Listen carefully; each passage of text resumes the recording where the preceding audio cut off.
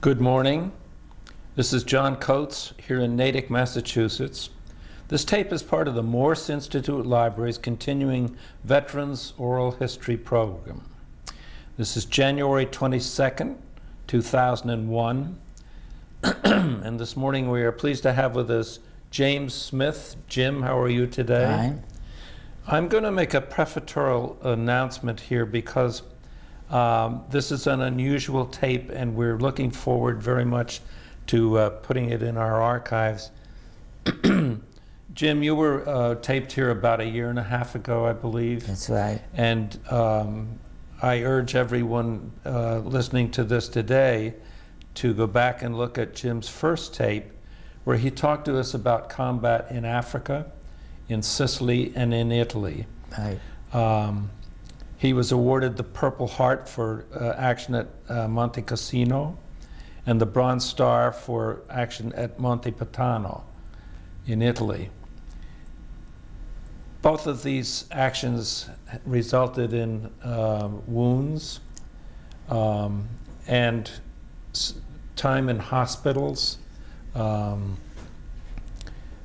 time to think about what happens to troops in battle as an officer. You were a first lieutenant by this time. Yes, I was. Um, and you said you wanted to talk to us today about emphasis on combat fatigue and hospital experiences in the Army, something we very seldom get to on these tapes, and we welcome your thinking about coming back and talking to us today.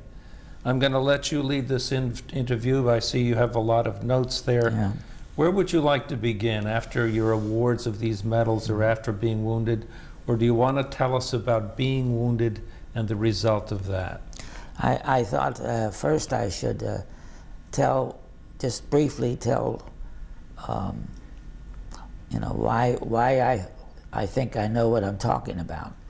In other words, who am I and what and where was I, so that uh, someone watching this tape would uh, would understand that I do know what I'm talking about. I was in, I served in North Africa, Sicily, and Italy. I was not in the infantry, so I imagine uh, infantry soldiers' experiences are a little more hectic than I. But I was a forward observer. I'm a forward observer is a, somebody that's out on a hill somewhere where he can see the front lines and see what's going on, and yet he remains hidden. I was the eyes for uh, our 12 guns and the 12 guns from the first battalion. So uh, I would I could call in targets of opportunity, and when the infantry attacked, I could uh, help them with artillery fire. But probably what isn't recognized, the fact is that I was an observer. Jim, when you say First Battalion, what what division were you in? I had a, we were, I was part of the 17th Field Artillery Regimental Regiment. We were corps artillery. Most people don't know what that means, but a, a infantry division is an entity all by itself. It can fight. It's got everything, even down to a chaplain and a dentist. Now, sometimes the division was thrown into a position enemy position where they couldn't handle it and needed help. We were the help. We were the corps artillery, and therefore we were moved from one area to another area, which kept, which kept the regiment in action almost all the time. So you were a floating artillery right, that's group. right. Okay. Before you tell us about what you did as a forward observer, tell us how you were trained to be a forward observer? Well, I, I, uh, I was sent to a, a officer's uh, training camp down at Fort Sill, and there we were uh, fired artillery uh, with fire uh, fire missions where uh, we'd look out over a, a field and the instructor would say there's enemy near that tree and you had to get artillery fire. You, the, actually the guns fired and you had to observe it and get it in the right location. You were directing the gunners. Right. Okay. But, uh, you know, there's no way to prepare you for the real thing. So that when I, I felt when I got overseas, I was kind of poorly trained.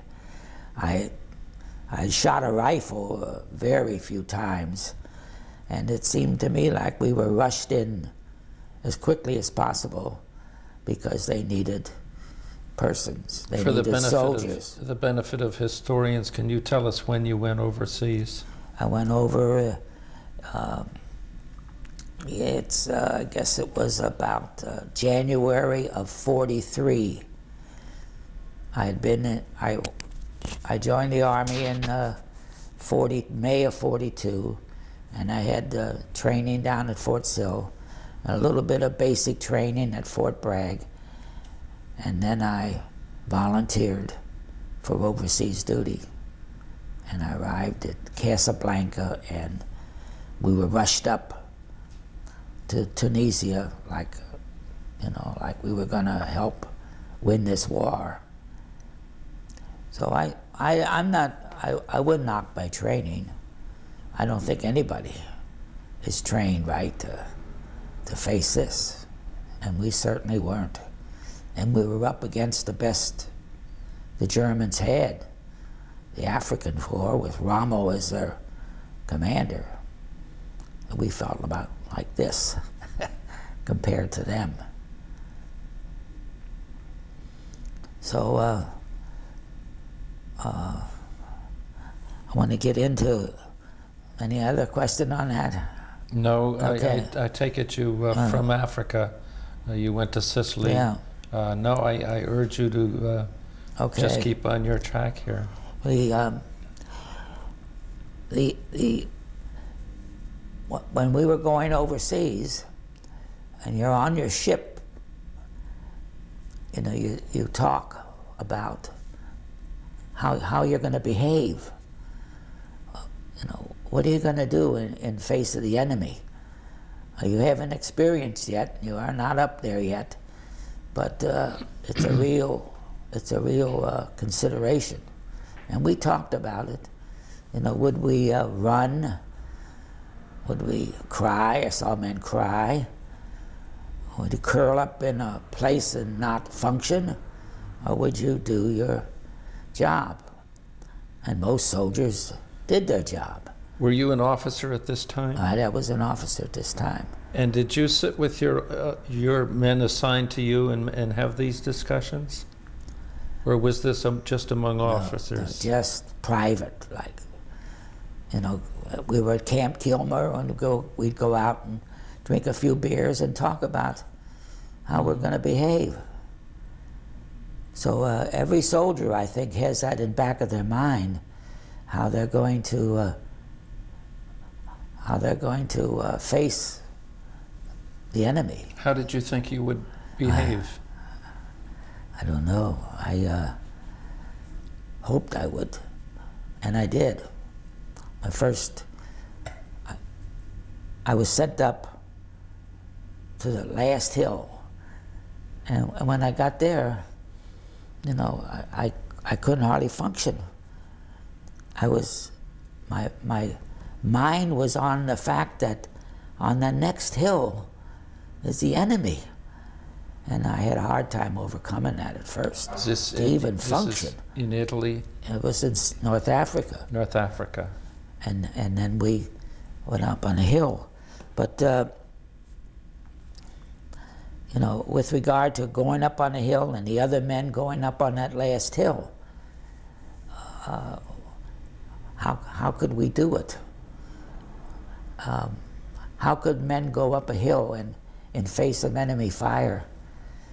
When when the uh, you know in in war or in a battle, uh, most most time the, the soldiers don't aim. You know the enemy's moving around, so you just spray.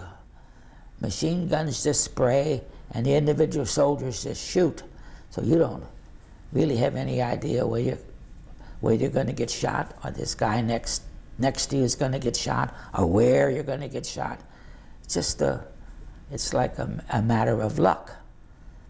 So it's, it's hard to get yourself to go up a hill in, in the face of something like that. You know, you can't really protect yourself. And, and why would men go up a hill in face of uh, that kind of fire? Well, I claim that uh, they went up the hill not to save their country, and they didn't go up the hill to uh, because they hated the enemy. They went up the hill because of camaraderie. The, the soldiers that they with were with lived very close together. Lived 24 hours a day. You're with these men, and and uh, you have to be respected. You have to face them, and they have to face you. You know, might, might say the greatest critic is is the is the guy next to you and yourself.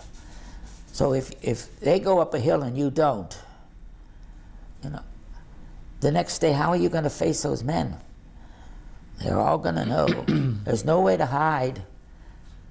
There's no way to avoid it. You have to go if you're going to gain their respect.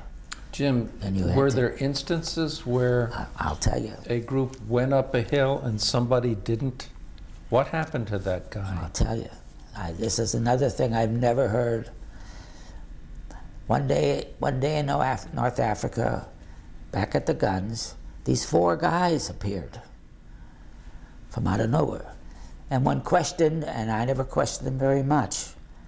They were infantry, and they said they were lost. Well, we, we all knew what had happened. And we were in the artillery and we knew what the infantry was up against. So that, uh, you know, we, who, who are we to criticize them? But we knew that they had not gone up the hill.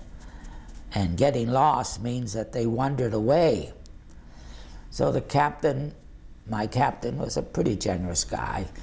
He says, well, we'll leave them stay here for a couple of days. We fed them. They slept in our gun crew and hung around with them all day. But he said, uh, at the second day, he says, they have to go. And so we went and told them, and the next morning they were gone. Now, wh- what are they going to face? Now, those soldiers that wandered off got to go back. They got to find their outfit and, and report in. Because if they don't, they're going to be listed as missing. And first thing you know, that missing goes to Army headquarters and goes home. Well, those four guys aren't going to want that. So they're going to go back. All right, they get eaten out by the officer and they get yelled at by the sergeant. But that isn't what they feared. They feared his, their friends. Everyone in that platoon knew what they did. Now they have to literally face up to this. You know, after, after you've been through an ordeal and you all measured up, you, you would sit on a hillside and uh, you didn't talk about the fighting that just took place. You kidded and joked with one another about somebody being a redhead and somebody else from Texas. But there was a camaraderie there. They respected you and you respected them. And you got to have that. Now, these four men are going to have to go back, and they're not going to be able to tell some kind of a story like, you know, it was dark and I. They can't do that. So, what are they going to have to do? The next time, they're going to have to go. And the next time, they're going to have to show everybody in that platoon that uh, they're worthy of uh, everyone's friendship. Isn't it going to be worse for them that they have to prove themselves That's right, it's over going and to be above? worse. It's going to be worse. This, this is something from another outfit though, that you just described. What about your outfit? Did you witness anything? Do you know anybody who didn't measure up? No, I don't. I saw soldiers run in my outfit. Uh, you know, the, the gun crew pretty much anchored there. You weren't allowed to leave. We had a couple Joes. One time they went up on Mount Pantano because there was a whole lot of German dead up there. And you know, they were after wristwatches. And they stumbled on a minefield and they were both killed. So you, you had to stay right with your gun battery. And there was a sergeant and a corporal who were charged. No, I didn't see anybody run. And I'll, I'll give you another example. No, no, explain what you just said. Uh. A sergeant and a corporal were charged. In charge of them. Oh, in charge. Yeah, and there was Sorry. about six cannoneers.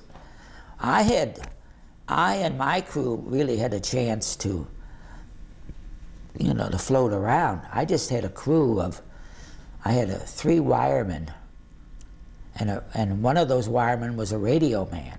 That's all I had responsibility for.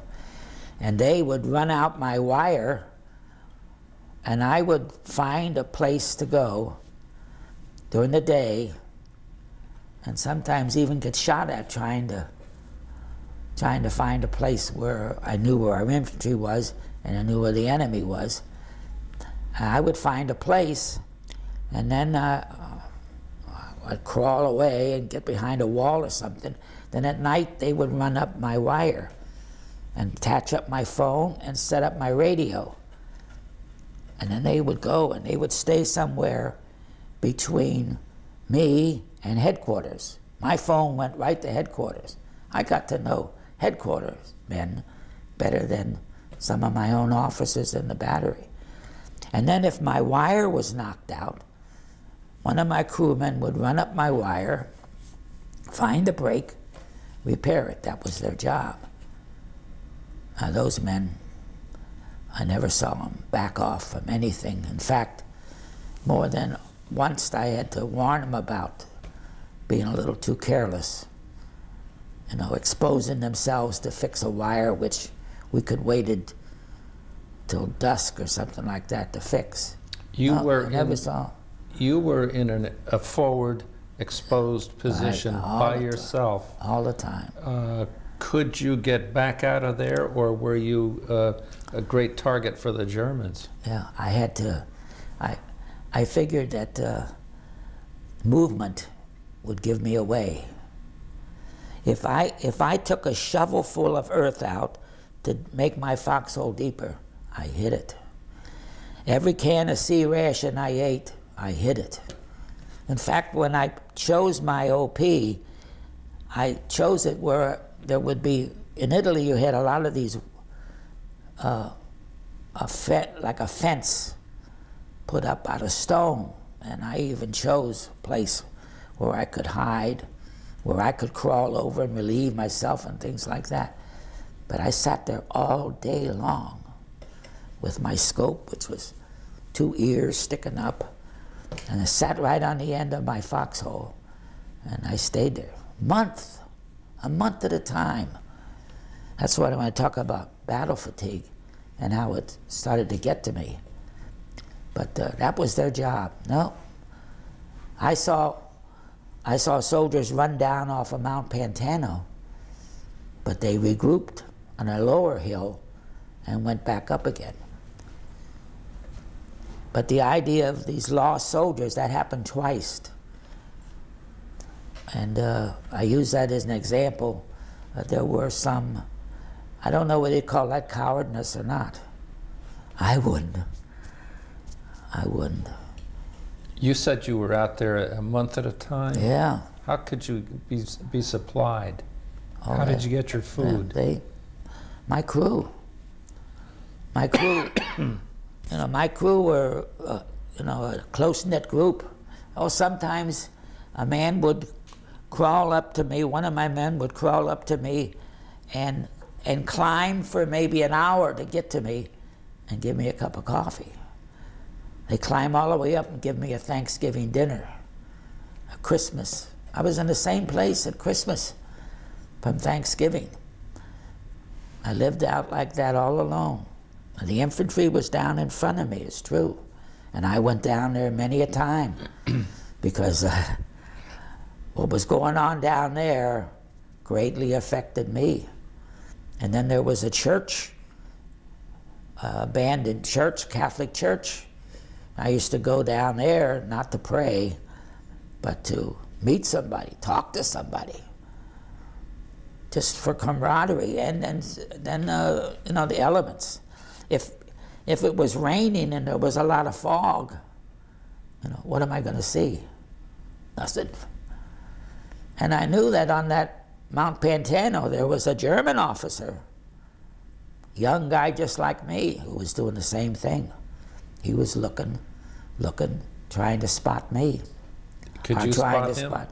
Never, No. never, never. Did they, anybody prepare you for the loneliness? Uh-huh. No, no. Maybe, maybe if I would have complained, but I'm an, I was not that kind of guy. They, like, like in North Africa and Sicily, where things were very fluid. You know what I mean by fluid? You didn't know exactly where the enemy was. The enemy in Sicily was trying to get out. They didn't want a, a showdown. And in Africa, uh, Hitler abandoned Africa so that we captured piles of Germans. And the Germans retreated until they couldn't retreat no more. But in Italy, nothing moved. Day after day after day. And, you know, at the, in the front lines there, when it gets to dusk, you know, what are you going to do? So I find myself going to sleep at four o'clock in the afternoon. What am I going to do? Uh, read a book or something? There was nothing, nothing to do. And I would sleep on that mountainside all night long, well, much as I could. And the, and the infantry had to do the same. But then you were up in the morning, four, five o'clock. Yes, I spent a lot of time alone and I had chance to you know, think, what am I going to do if, if this happens or that happens? If what happens? What were your fears? Ah, Enemy patrol. That was my fear. I was sitting on the edge of my foxhole. My foxhole was narrow. I made it as narrow, and if you made it too deep, it got water in it. So uh, I sat right in, and they would have to they would have to drop a shell literally in that hole to get me. And I was sitting on the edge, I'd just slip in. And if, if they fired at me again, unless they got me with the first burst, in fact, that's true of most guys. If you, if you fired at the enemy and you didn't get him the first shot, you're not going to get him.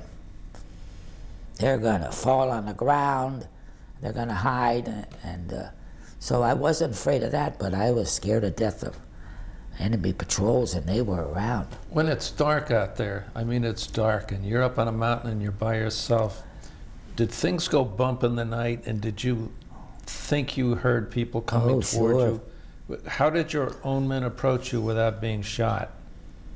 Well, we had a, uh, we had, what they call them, a, a password. You know, Cats, paw, uh, Stan the man, or uh, Joe Louis. You know, but again, I'm not going to use that. I'm not going to call out if I hear something, some disturbance on a hillside. I, yeah, I think that Oh, would not be a good idea. No, sir. And even down with the infantry, they're not going to do that. But it sounds good. And maybe uh, back in the rear area, it, it, it could be important. But I'm not going to, I'm not to give myself away. Oh, yeah, I woke up at night. I woke up at night uh, down in the valley, the infantry, they had what they called a firefight.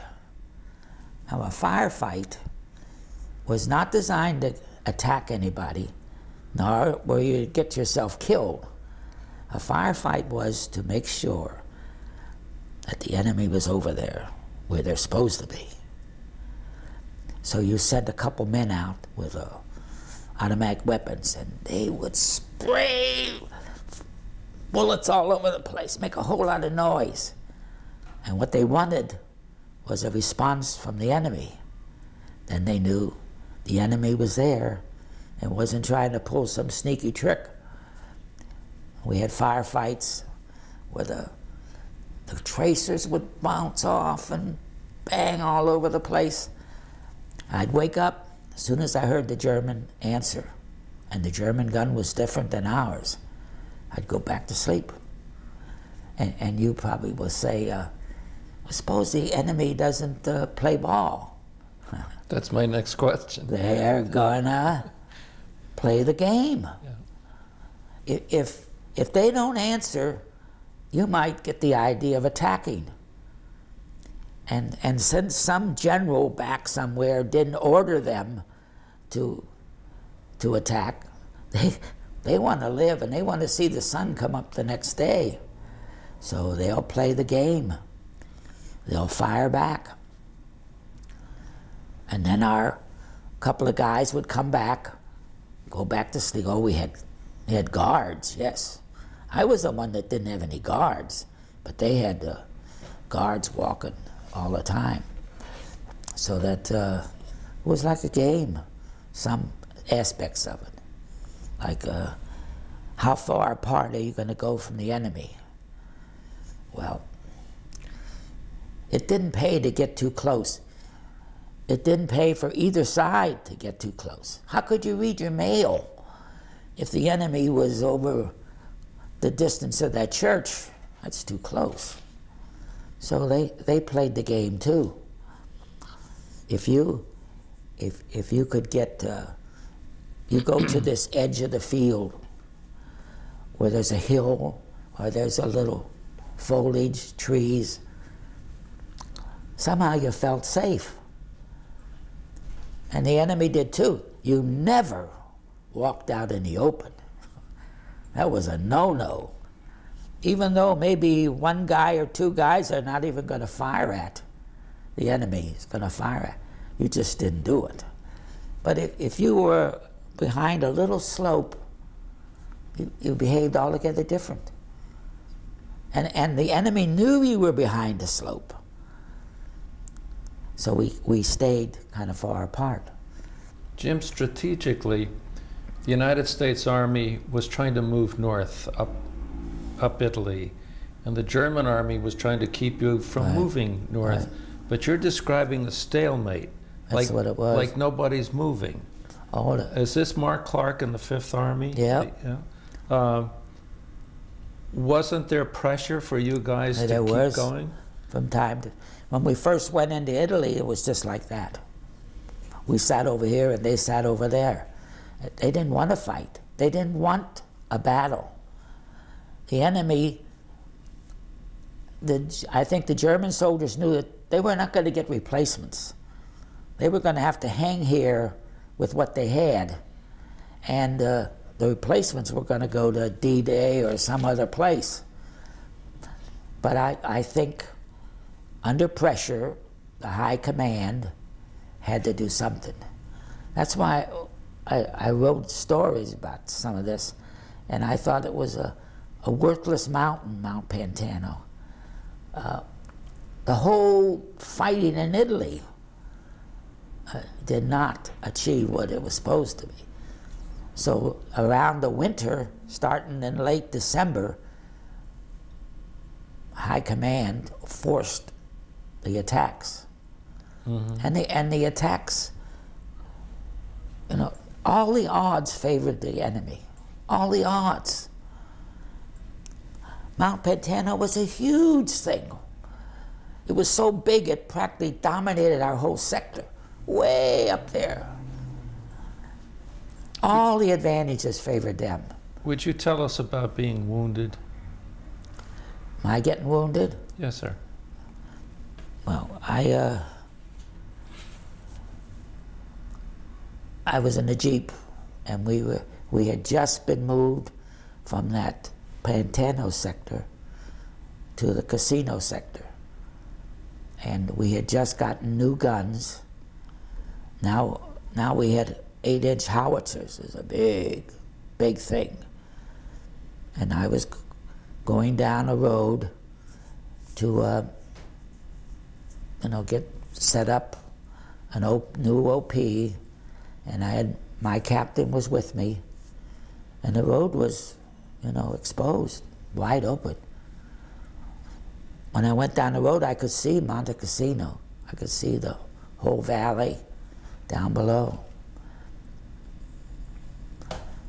And we got fired on. And uh, they they hit the jeep. Jeep came to a stop, and the captain.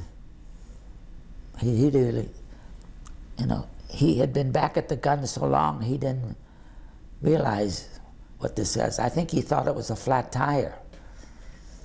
But I had been all the time, you know, up front. I knew we'd been hit by a shell. And he, he just was stumbling. I could still see him.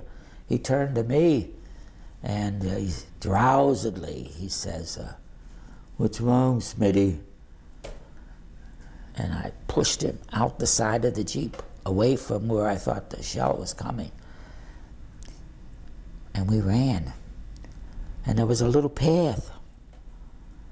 And we uh, ran up that path. It was an abandoned German dugout. We went in. And it had a door, even a door. And the, the mountain sloped like this, and the door was right in here. We went inside. Whoever fired at us saw us go. And he, he was determined to get us because he fired. I, I, my ear became attuned. I, I knew. I don't care what other gun and, and shooting was going on. I knew that gun, and I could hear poop way off, and the shell would come. And he was trying to knock that door in, I think. And he wanted to put the shell right in. And I was determined he wasn't going to do that. And although I was wounded, I hadn't gone into shock yet. I crawled over each time and closed the door. And when we were rescued, he had the top hinge of the door off, and the door was hanging this way, but he never got that shell inside. Go back a minute to the, the Jeep hitting, getting hit. I take it at that moment, that that's when you were hit too. Yes. How badly were you hit? Well, I got sliced through here, one along my neck here, one along my leg, and a piece went right in to my leg but missed the bone. So I could run. How about your captain? My nothing, Nothing. nothing, not a thing. And when the explosion took place, my head seemed like it swelled up, and I started to black out. I was aware of blacking out and reaching a point and then coming to again. I think my body is pretty resilient. I had a watch on, and years later, the watch in my barracks bag, my barracks bag followed me to Cushing Hospital, and I opened up all that moldy stuff and everything, and and I found a watch. So I went to a jeweler downtown Framingham, and I say, uh, "Can you fix this watch?" And he says, well, he looked it over and he says, "This watch has been in a terrific explosion, and all the stuff is wrecked in there." And look at that, that that watch was wrecked by the shell explosion, and yet my head, my head, I mean, my, I didn't pass out. Remarkable how resilient your body is. Why didn't you bleed to death? I, I, they, they wanted to take me out of that dugout, and I didn't want to go. I wanted to stay there till nightfall, and then creep out. But these two medics came in. As soon as they, as soon as they came in the door, I noticed they didn't have a gun. But for the longest time, I never realized that they were medics, because they they were not in the least bit afraid of going out again. Because we went, they carried me out.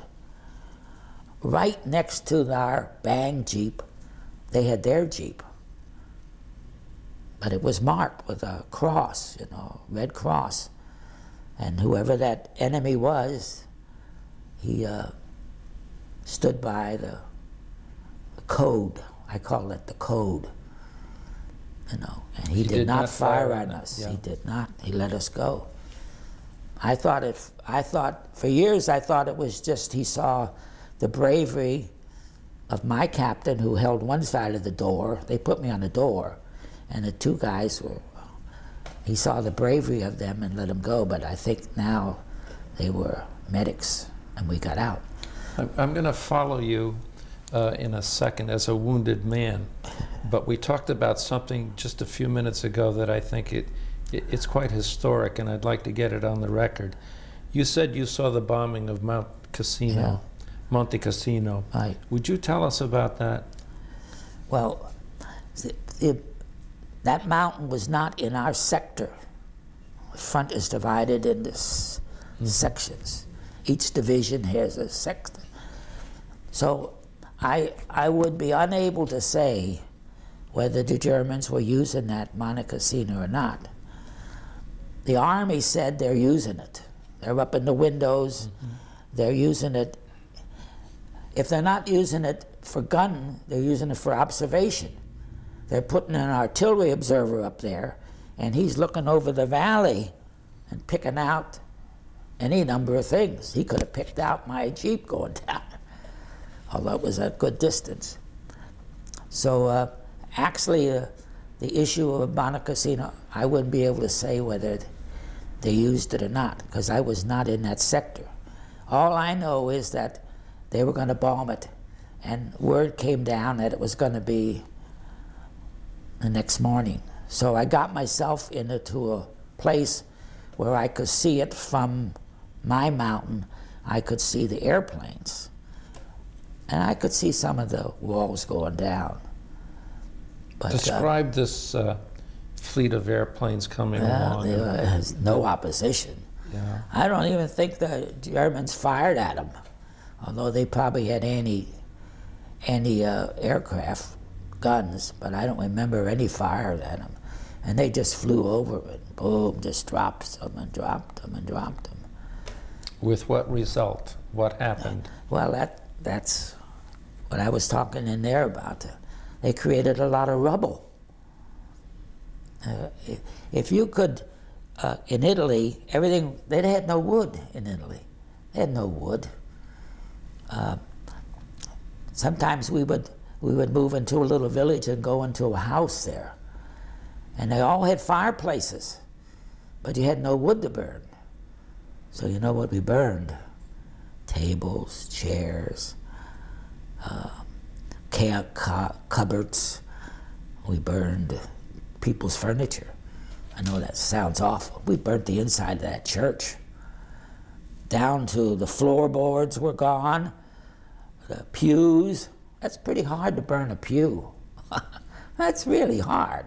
But with a little gasoline, which we had plenty of, uh, you start a little fire, and of course at dusk you had to put the fire out. But the enemy must have known we were in that church. But uh, let's see, I got off the track there. That's okay. You were telling us about the result of the bombing of Yeah. Monte It created rubble. I saw some of the walls half, still half up, see. So uh, if, if you could, in any place in Italy, if you could shelled and, and flattened it, you know, just flat, that the enemy couldn't use it, it would be one thing, but that never happened. You shelled a village and you created all this rubble. And the enemy could put a machine gun behind the rubble, and that's just as good as mm-hmm. being in the building. And so that's what I felt happened up there. The, the Germans claimed, claimed, no, no, we're not using it. But I, I figured that if it's usable, they used it. Okay, I, I interrupted you a minute Oh. ago. You are on a door being carried Yeah. out uh, by your captain and these uh, two Red Cross uh, Yeah. medics. And they, Uh, where did they take you? did they, the, the vehicle, their vehicle was pointed away. Our vehicle was pointed this way. if they put me on it, they wanted to take me to a first aid station, which was down in the direction I'd been going. I didn't want to go there, but by this time I was in shock. And, and I tried to yell and I tried to talk, but I, all I got was a mumble. But the determined feature figure determined what determined was they would have had to put me on Jeep and turned around.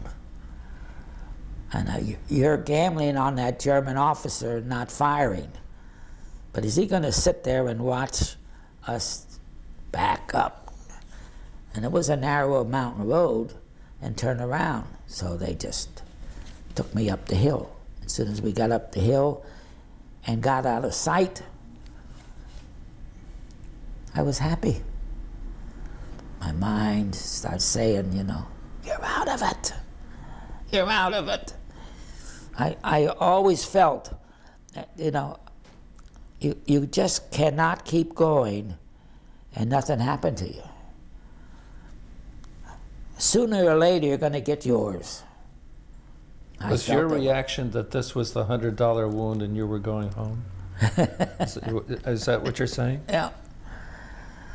I figured that one, I just can't go on forever without getting hurt. Something's gonna, it is, just isn't working. I, this isn't gonna work.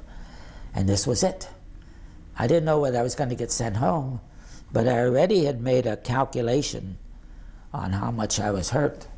And the bleeding was, blood was dripping off my finger onto my boot, but it wasn't gushing. If it had been gushing, then I would have been worried. But my wounds, I even ran on my leg, so I figured. You knew hey, you, you knew you were going to live, Yeah. but you were out of the war, at least temporarily. Yeah, So where did they take you now? yeah. I went to a, I went to a, a French hospital, field hospital. Wow, you know, with a big red cross on it.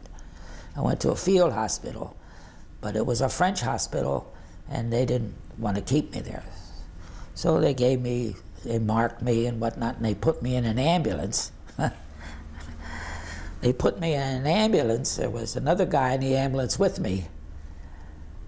But the surprising thing is, a young French girl came out, and she was the driver. Oh, she was cute. And you guys hijacked the ambulance. No, she got in and, and said something in French, I don't know. And then she started driving, but she didn't know where the American hospital was in because it was in another sector, see. So uh, she'd ask on the road. you know, the GIs, pretty girl. They'd go over and, and uh, she'd roll down the ambulance and they'd get, you know, you know, and then they'd pretend they knew a little French, which they didn't know, and they'd start, uh, you know, making out, trying to just at least talk to her. and you're in the And then back. I started finally, you know, I started yelling, and then they, it happened more than once, but they got me to the American hospital. I got in the American hospital. It, you know, all that time I felt fine, and then they rushed me into into a, a, the field hospital operating room, and that was something. That was really something. There were, there must have been ten operating tables, and each table had a team, a doctor or maybe a second doctor, and nurses were running all over the place, and it was like mass production you know, they shot me and I passed out. And I went to one of these teams. But there were other wounded being brought in all the time. Where were they coming from, Jim? You you had been shot Somewhere in else, an yeah. isolated incident. Was there another battle Oh going on yeah, at the well, same you, time? you had you had Cassino down the bottom of that hill, Yeah. and there was always somebody coming from them. Now, are you s- totally separated from your outfit, and you're not Yeah. sure you're ever going to see it again? No, that's Did right. you feel pretty much alone at this time? I What were your feelings felt pretty about? happy. Yeah. I felt pretty happy. You were pretty happy. Yeah, and then when I woke up and they had me, they had plaster all the way up to my elbow and plaster all over my leg. I went crazy because before they took me in the operating room, I knew I was, I felt I was going to be fine. And now, Look what pretty the serious. heck is this? Yeah. I start going crazy. They finally had to, they finally had they finally had to give me a sedative to calm me down. But, uh, Did you just describe that you had gotten good medical care, though? yes, I did. Oh, I thought the army did a great job for me. Was this a kind of MASH outfit? No, this was bigger. The field hospital would be more like MASH. But this was a Uh, No, real no, hospital. No, the first aid station would be more like, well, MASH would be like this too. This was much bigger than MASH. This was big and had a, a big tent, and over the top of the tent was a big Red Cross. The At Germans never did At it. any point were you aware of the fact that you had gone through triage, that somebody looked at you and decided you were worth, worthy of being healed, that you were not dying? Yeah. Were you aware of that moment in your life? That somebody said left hand or right hand? No. No, I, you know, right after we went over the hill, I knew I was going to be alive and I was going to be. But I mean, did Fair- some medical person make that decision No, about you? no. okay. No. I've often wondered, uh, you know, some guys are aware of the fact that they've Oh, been pointed in the wrong direction. No.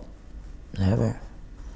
No. Okay, you now you're all covered with plaster and casts, and what did they do with you then? Well, I, they, uh, when I woke up a second time after the sedation, I was a little more calmer. And then they got a doctor, and he sat on the end of my cot and told me that by immobilizing the wound, um, it heals faster. Okay, I accepted that. Then they cut it. Then I went to Naples Hospital. There was a big hospital in Naples. Now I was out of the field, and it was, you know, so you went back down south. yeah, that's right, To down Naples. to Naples. Yeah. And then, uh, and I had a lot of pain. And the pain seemed to all to be in my hand, but the wound was up here. And I used to lay all day thinking sorry for myself, and uh, had some crazy notion about taking any kind of sedative. And I stayed awake all day, so because I didn't want to be laying there all night, you know, all alone like. You knew too that your family had been notified. Yes, they had been notified. Wounded in action. My mother got one of those telegrams delivered by a soldier. Imagine how she felt. Is there any way you could communicate with your family as to the I wrote extent with of your my left hand. Yeah. I tried to get a letter out as fast as possible. Just uh, one of those V-mail things, just to uh, warn V- her because she's gonna. I was afraid she's gonna get one of those telegrams, which just said. I even got the telegram at home. It said your son has been seriously wounded, and she would know nothing. So I tried to write, and she could tell by my writing with my left hand, you know, the curve of my writing, that's something, but, but that I was doing pretty good. Now, when we op- opened this interview, we, we Yeah. said that you wanted to talk about the uh, hospital experience. Yeah. Uh, let's not forget the other half of that, the combat fatigue part of it. So you, you go right on with your story and, and look at your notes there. Yeah, I, uh, uh, combat fatigue is kind of a nebulous thing that I don't think anybody understands, and I don't know that I do either. But, uh, you know, it was always a, a, a, like a contest, which was the best service. You know, the Air Corps, with all their glamour and uh, uniforms, and uh, you know that soft hat and the wings and the dog soldier the frontline soldiers And I had a chance in the beginning there. The Air Corps wanted men, wanted them badly. And a lot of my friends volunteered and went into the Air Corps. But uh, I had made my mother a promise. Somehow she had the idea that flying was the worst. So she made me promise I'd never, well, I don't know whether that had anything to do with it, but I didn't sign up for the Air Corps. But I always felt that mentally, uh, the Air Corps had the worst of it. Uh, an Air Corps officer, he's going to live far away from the battle. He's going to live maybe in England or down at Foggia in Italy. He's going to live somewhat like he lived at home. He's going to have girlfriends. He's going to have parties. He's going to go on tours. He's going to have a good life when he's not flying.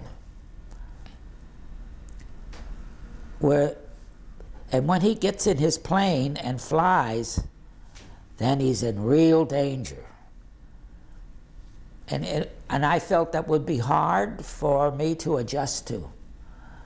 Going from a soft, nice, easy life and every day getting an airplane and flying. And, and the Air Corps, uh, it didn't matter whether you were a good flyer or a poor flyer.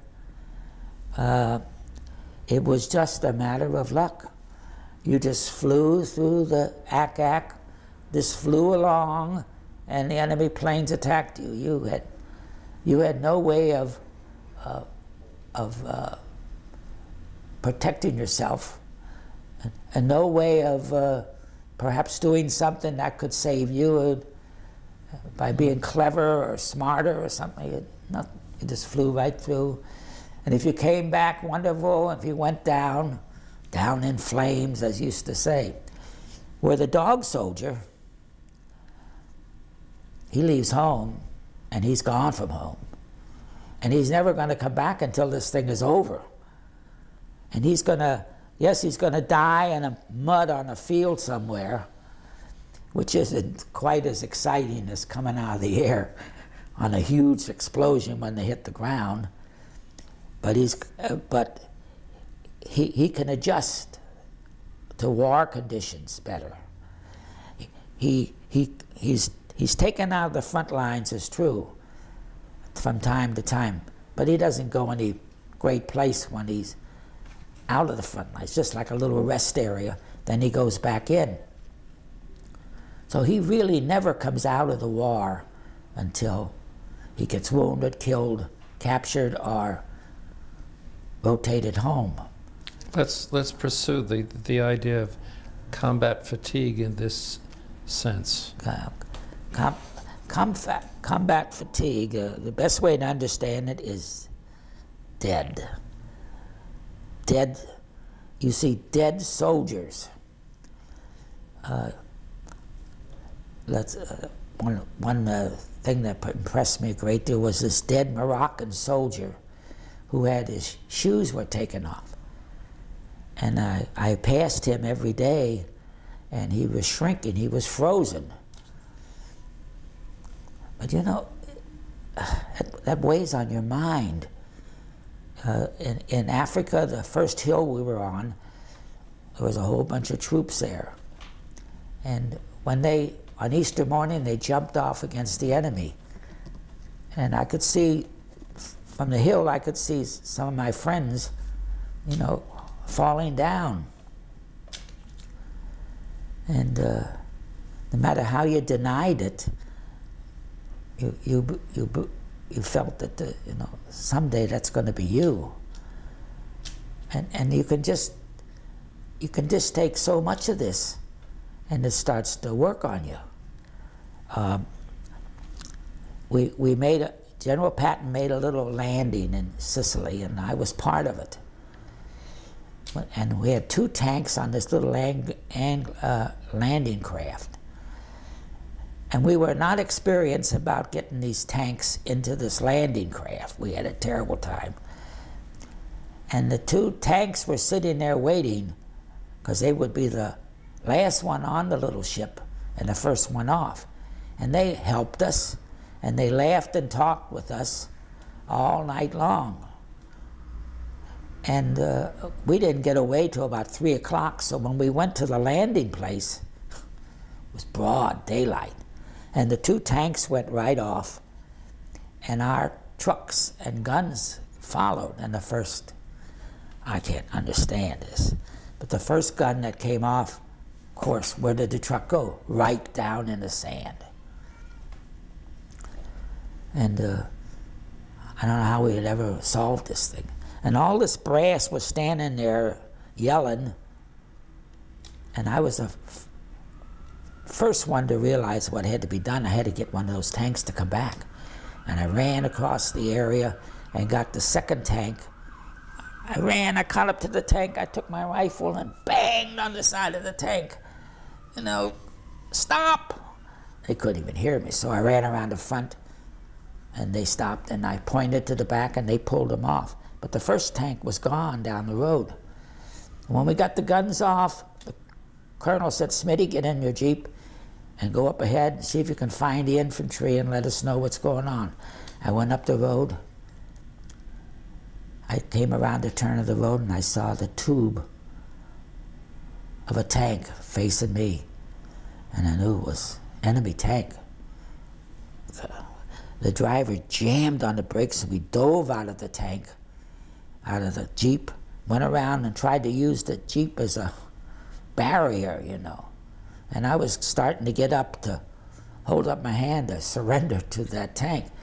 Then it, nothing had happened. And I noticed now that the tube was not aimed at us, it was aimed to the side. So my eyes followed along where that tube was pointing, and here was a tank. Tank was knocked out the German tank. It's, it's something like a movie. Who would ever think of something like this happening? The two tanks were oh, 20 yards away, and they each had knocked the other one out. See, a tank travels with a, with a shell in at all times. And the only person that knew, I called that a three second tank battle. There was a hole in the American tank, right below the tube where the driver would sit. And there was a hole in the German tank, and the German tank was much bigger. Oh. And there was still some smell and smoke coming out. I'd say this happened about an hour before I got there. They had both fired at the same time. That's, that's right. Yeah. Only way it could have happened. And the only guy that could have done it is the is the lanyard man. He pulls the lanyard that causes a pin to strike and the shell flies. Well, I went over, and the men in both tanks were laying on the ground. The infantry had gone and pulled them all out to see if there's anybody to save. So I walked along there, and there were six guys of ours laying there.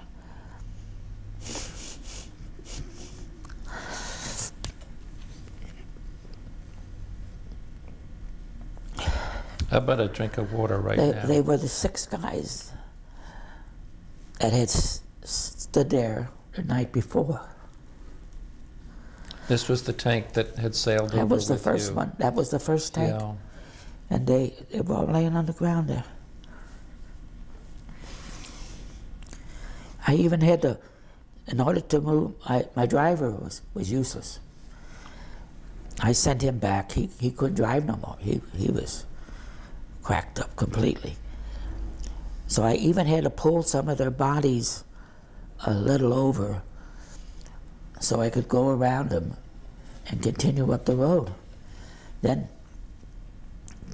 then as I drove, you know, each turn of the road, my God,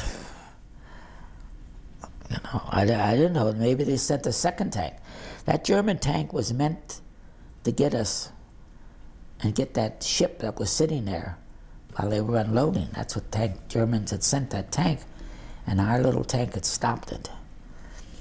And I was thinking, those guys, you know, they should be heroes.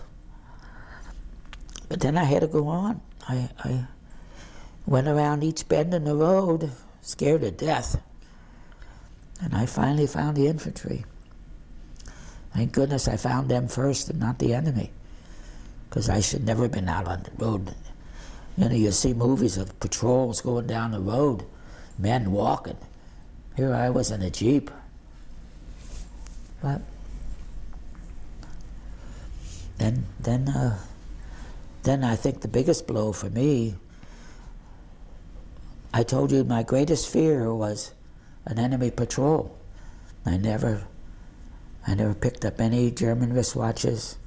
Never touched a German dead. Nothing. No souvenirs on me.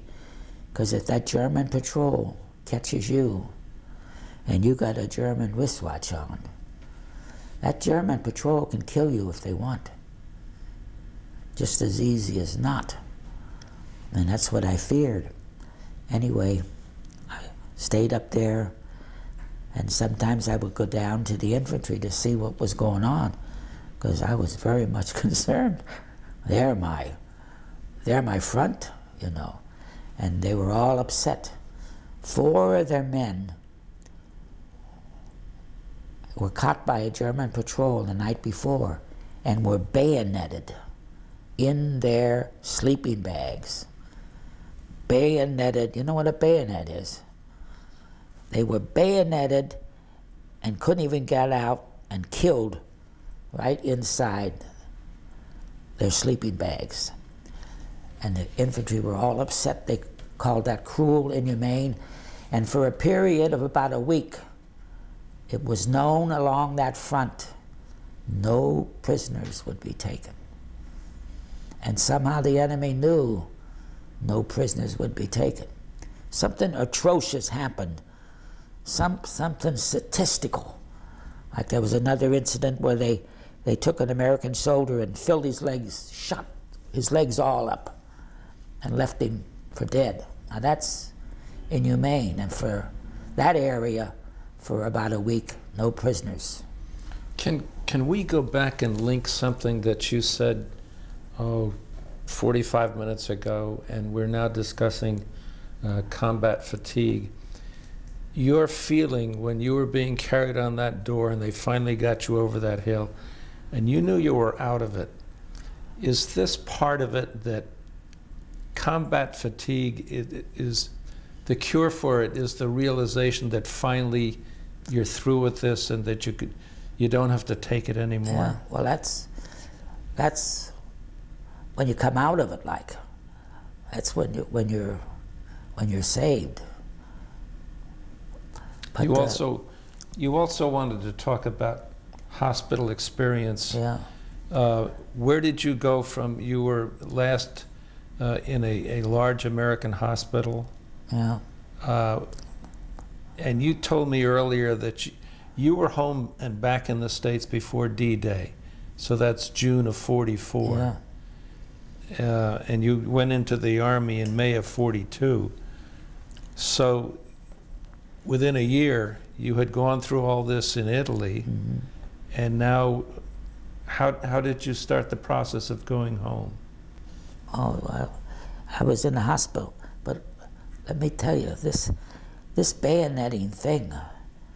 You know, I I kind of wish they hadn't told me this, because for the next month I slept with that idea, and that worry, and that really took a toll on me.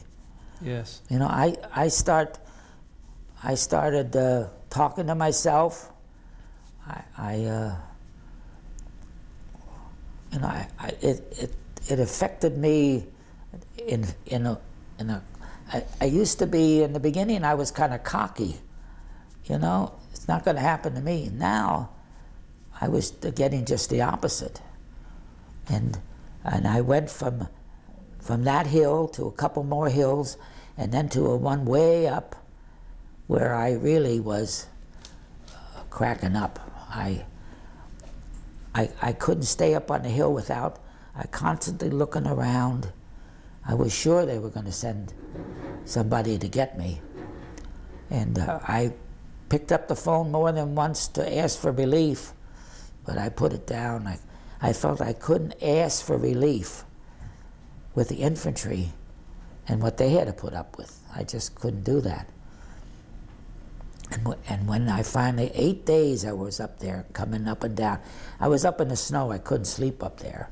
But every day I'd go up, oh, dreading it. And up there on the mountain, I dreaded it.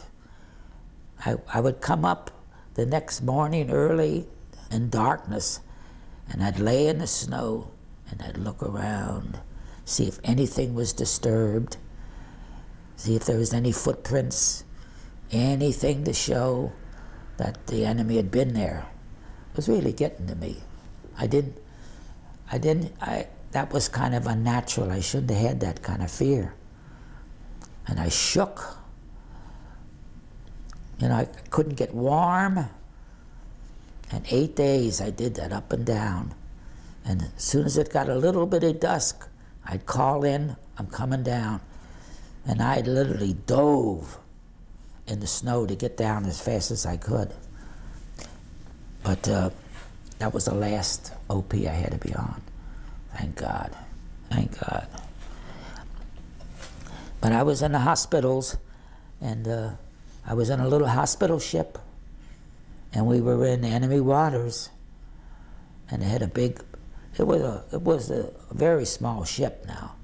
There was about six of us on this little hospital ship. But to get out of Italy, You were leaving Naples? yeah, I had to, I had to prove. They, they said I had to be ambulatory, which means I had to walk. And the sooner I walked, the sooner I would go. And uh, I did lay there and baby myself. I babied myself. I used to pull this arm in like this, and you know, don't, don't touch me, don't touch me. Well, this, we had a nurse there. Her name was Martha. She was a little older than us, and uh, she used to treat a, treat the soldiers like they were her kids, you know. And one day she zeroed in on me. She came over to my cot and she says, uh, "What do you got there?"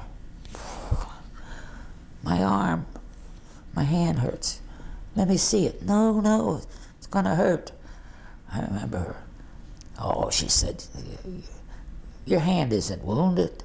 Your hand's fine. It's up there in the arm. Let me have it. She reaches it, pulls it out. See, she said, that doesn't hurt. And it didn't. My hand was all swollen, skin was coming off. It looked terrible. And she says, uh, I bet you can't straighten your arm out. And I couldn't. And she started pulling on it. Oh. She says, I'm going to get a pan of water and we're going to wash that hand. And then all the while she washed my hand. She says, I'm coming back every day and I'm going to get this hand and your arm in shape. And she'd come back every day. And all the while she was washing my hand. She was, uh, you know, saying, uh, you're, you're a baby. I'm not a baby. You're a baby. You're babying yourself. You're laying here. Your, your whole body's deteriorating. Wake up. You know, listen to other people. Take part in what's going on. She kept at it, at it every day. She pulled me out my, This was Martha. yeah. And Yeah. one day, she was reassigned. Gone. Never saw her again. Where did you sail to on this little ship? Yeah, I don't know where it was in North Africa. They But in took you North back to Africa- North Africa? Yeah, we went back to North Africa. And there you went back on empty ships. well, they weren't totally empty, but they were empty ships. And uh, uh, they took prisoners back with them. They took German prisoners back to the States. I guess they figured it was cheaper to feed them back here. I think you had some prisoners in, in Framingham area but they brought them back, and, and we were loaded on that. But North African prison uh, hospital, I saw the worst case. Unbelievable. This kid, his tank, you know, somehow everybody has an idea that tank what a glorious thing to ride around in a tank. Oh no. A tank's a death trap, and they usually don't get out. But this poor guy was the only member of a tank crew that got out, and he was burned. Unbelievable. He was black. Everything black. His face, his, his nose was a, a little, a little nothing really. His ears were gone. No hair, of course. His skin was shriveled, like, like it looked like wax. And way back in there somewhere were his eyes, his mouth, and, and his body. He had a house coat on, like a bed, uh, bed gown, and his legs were black, his feet. His hand looked like a claw.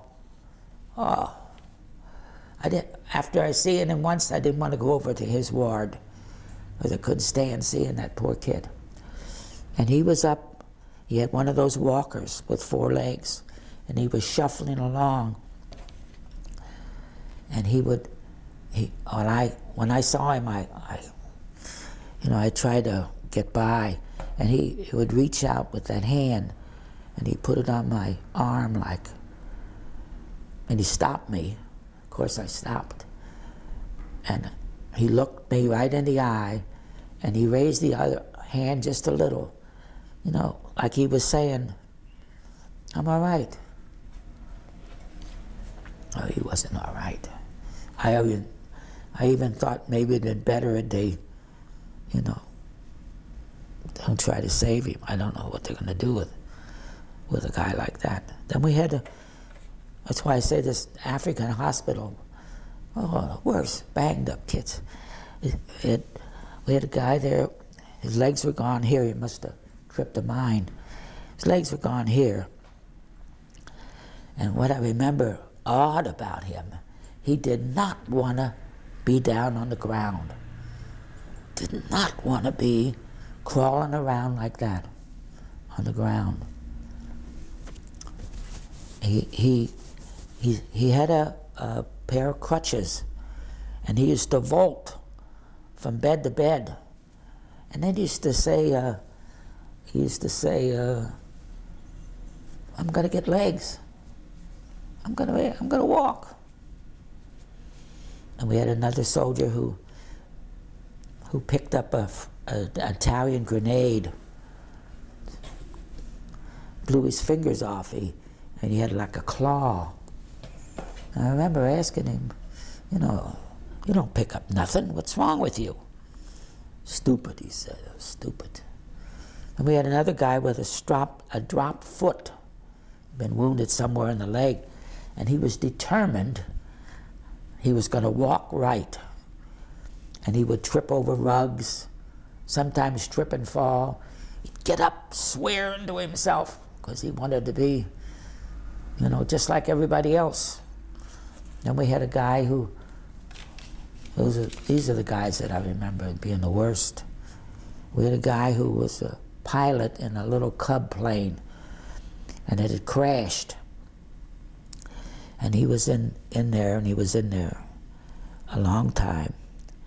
And the legs were, I don't know how many times his legs was broken, you know, how many places, and they weren't healing. And top of all that, he was gaining weight. And you'd go by his, you'd go by his bed, and you could see him, you know, crying,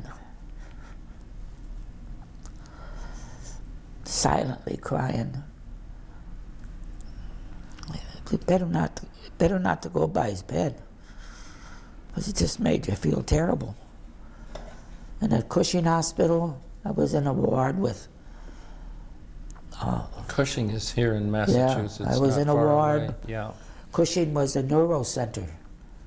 If you had some some neuro problem, had to do with nerves or head, brain, or something like that, uh, this was a specialty place.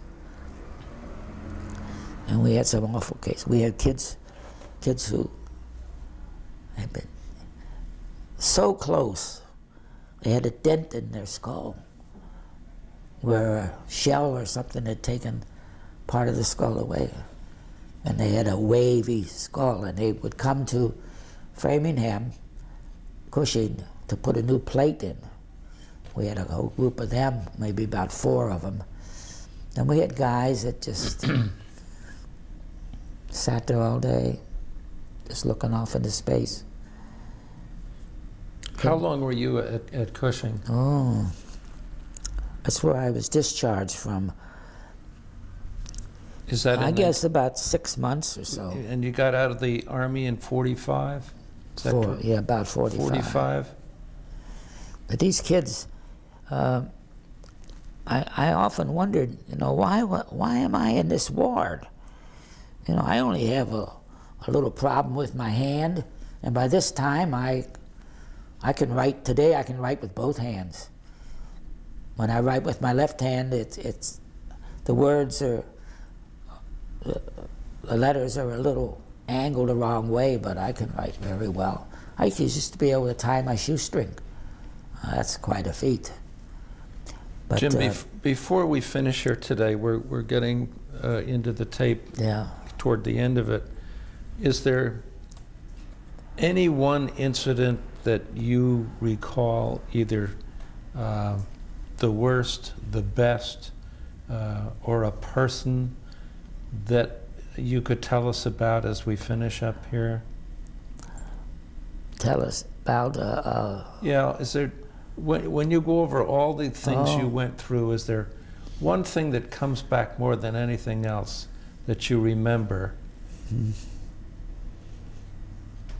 I I remember uh, a couple of people that I will never forget, Tell us about and neither that. one of them was was in the battle thing. When I first went into service, um, my first captain in the in the service was uh, a man they called Jawbone Smith. Jawbone? Jawbone Smith, because he talks so much. he uh, wasn't a relative. He uh, he was from the mountains somewhere, and he had no education, and he got into the army. And by the age of 50, he was as far as he could go. Uh, and this, see, he never went overseas, but I remember him he was about 50 years old and too old to go overseas. And when the war broke out, uh, the army took experienced men and uh, made them into officers. Well, Jawbone uh, said that uh, they wanted to make him an officer with all his experience. So uh, he said, uh, "You can only uh, either I'm a captain or um, I don't want it." He was a sergeant major or something like that. Oh, I don't know.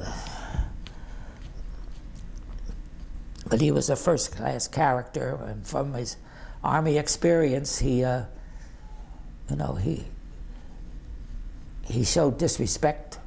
He was very crude. He was obnoxious. And I liked him. He had a chip on his shoulder. He was a little guy, and uh, he had a mouthful of teeth that went all different directions. Uh, he was a first-class character, and he gave me my platoon when nobody else as a second lieutenant got a platoon, and that that platoon was the happiest experience that I had in the army. And uh, when people found out that Jawbone was my captain, they they thought, "Oh, you're in for a terrible time," because he showboated, and yet, with with me, he never he never uh, did this. Oh, I, I don't. Anyway, I remember him. Would you do something for us at the end of this tape that I would appreciate? Th- This is this is your bronze star Yeah. that was presented to you. Would you read the citation? Me? Yeah. Do you mind doing this? Because I think it sums up a lot of what you've told us today, but also it sums up the recognition that the United States Army knew you were out there. Would you do that for us, Jim?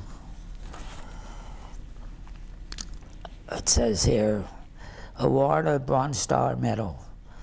Under the provisions of Article War 600-45 as amended, the following officer has been awarded a Bronze Star Medal.